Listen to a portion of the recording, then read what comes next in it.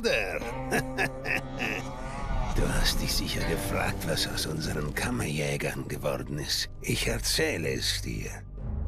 Nach Handsome Jacks Tod und dem Sturz von Hyperion herrschte Frieden auf Pandora, soweit es geht.